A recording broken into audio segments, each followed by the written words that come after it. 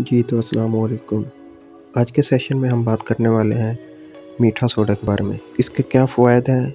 कौन से जानवर को देना चाहिए और कितनी मकदार में देना चाहिए? और इसके इस्तेमाल से जानवर के दूध पर क्या असर पड़ता है? जब जानवर को कोई भी खुराक दी जाती है तो उसकी मैदे में फर्मेंटेशन होती है और इसके नतीजे में मैदे में तजाबियत पैदा होती है। बिलखसूस, जब जानवर को साइलेज वंडा या ड्राई मैटर दिया जाता है तो तजाबियत काफ़ी हद तक बढ़ जाती है और ह्यूमन का पी एच लेवल नॉर्मल सतह से कम हो जाता है, जिससे जानवर कमज़ोर, सुस्त, खाना पीना कम कर देता है और दूध से स्मेल होती है और फैट भी कम हो जाती है, जिसे हम अल्फाज में हम वायाबादी कहते हैं। अगर वो कैदगी से मीठा सोडा दिया जाए तो इन मसाइल से बचा जा सकता है। अब बात है कि इस मकदार में देना चाहिए तो रोज़ाना 25 से 30 ग्राम दे सकते हैं।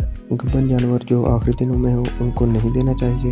अगर जानवर को किसी किस्म की मेडिसिन देनी हो तो उसके साथ नहीं देना, बल्कि थोड़े वक्फे के बाद दें। इसके अलावा 24 घंटे में जानवर को साफ़ और ताज़ा पानी ज़रूर दें। इससे भी जानवर की पीएच नॉर्मल रहती है। अगर वीडियो अच्छी लगी है तो लाइक कर दें और चैनल को सब्सक्राइब करें।